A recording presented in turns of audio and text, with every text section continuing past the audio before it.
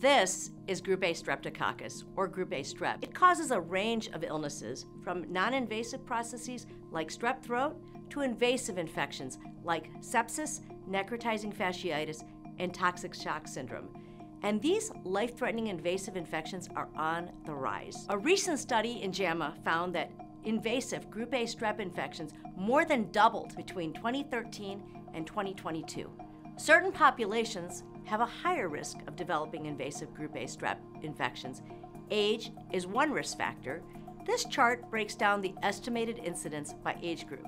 Older adults and people who live in long-term care facilities have a higher risk of infection and death.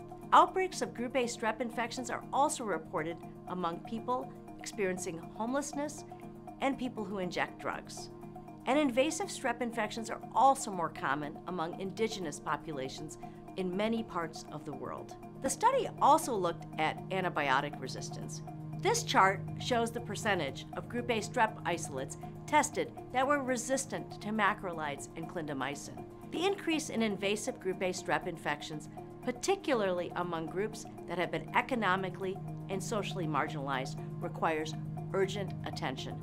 Ongoing surveillance to monitor the number of infections, what type of group A strep strains are involved, and antimicrobial resistance is essential. There is ongoing work to develop an effective vaccine, and reducing risk factors is especially important. Go to this article to learn more.